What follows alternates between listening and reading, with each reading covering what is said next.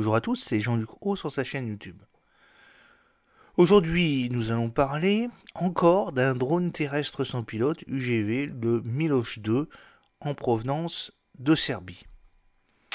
Lors de l'exposition Partner 2023, la Serbie a dévoilé un nouveau véhicule terrestre sans pilote UGV, le Miloš V2, qui est présenté par l'Institut technique militaire sous les auspices du ministère de la Défense de la Serbie.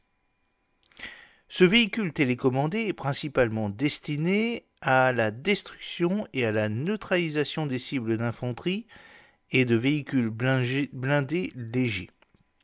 Il y parvient grâce à sa mitrailleuse automatique de 12,7 mm capable d'engager des cibles à des distances allant jusqu'à 1200 mètres. Depuis le conflit en Ukraine, les véhicules sans pilote, que ce soit dans les airs, sur terre ou en mer, ont connu un développement accru en raison de leur performance sur le champ de bataille. Lors du partenaire 2023, la Serbie présente des drones ainsi que ce nouvel UGV, le Miloš 2. Le Miloš 1, également connu sous le nom de Petit Milo, était le prédécesseur du Miloš 2 et a été développé par l'Institut technique militaire de Serbie. Contrairement au Miloš 2, le Miloš 1 était beaucoup plus léger, avec un poids total d'environ 680 kg et des dimensions légèrement inférieures. Il était armé d'une mitrailleuse M86 de 7,62 mm et d'un lance-grenade RBG de 40 mm. La station de combat du Miloš 1 pouvait piloter sur 360 degrés à des vitesses allant de 0,05 degrés par seconde à 48 degrés par seconde, et son élévation variait de moins 15 degrés à 50 degrés.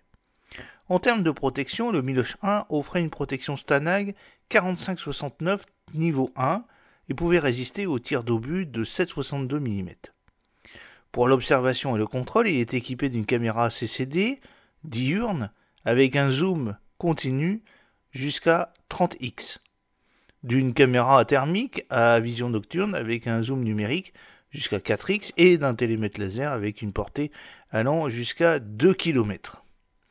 En revanche, le Miloš 2 est beaucoup plus lourd et plus avancé avec une meilleure autonomie et des systèmes d'armes beaucoup plus sophistiqués. Il est équipé de capteurs et de caméras plus avancés, ce qui le rend plus adapté à diverses missions militaires et de sécurité. Il est également plus rapide, a une plus grande capacité de charge utile et son train de roulement a été modifié de 4 à 5 roues. Le Miloš V2 est un véhicule à chenilles qui peut atteindre des vitesses allant jusqu'à 15 km/h et qui a la capacité de tourner dans un rayon nul ce qui le rend très efficace dans des espaces confinés. Le poids total du véhicule est de 950 kg et il peut fonctionner jusqu'à 4 heures avec une seule charge.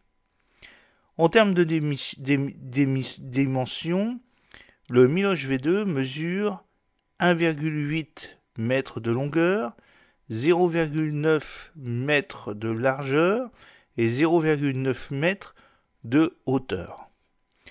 Le véhicule est équipé d'une station d'armes télécommandée, le RCWS gyro stabilisé, lui permettant de tirer tout en se déplaçant. En plus de la mitrailleuse automatique M87 de 12,7 mm, la tourelle peut également accueillir un lance anti-char M79 de 90 mm le mouvement naturel varie de 0,05 degrés par seconde à 60 degrés par seconde en rotation et de 0,05 degrés par seconde à 40 degrés euh, par seconde en élévation. La tourelle peut être contrôlée sans fil. Le Miloš V2 est équipé d'une caméra CCD de jour avec des capacités de zoom continu pour les opérations dans les conditions de faible luminosité, il est équipé d'une caméra nocturne thermique avec un zoom numérique. De plus, un télémètre laser LRF est intégré au système, capable de mesurer des distances jusqu'à 3 km.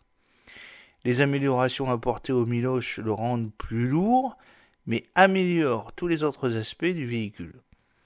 La Serbie développe ainsi également un nouvel UGV moderne. J'espère que cette petite vidéo vous a plu. N'oubliez pas de cliquer sur le pouce pour le promouvoir, de vous abonner si ce n'est pas encore fait et de partager cette vidéo sur vos réseaux sociaux.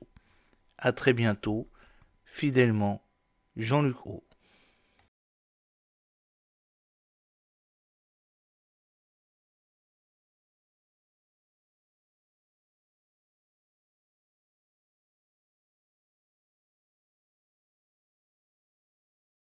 Okay.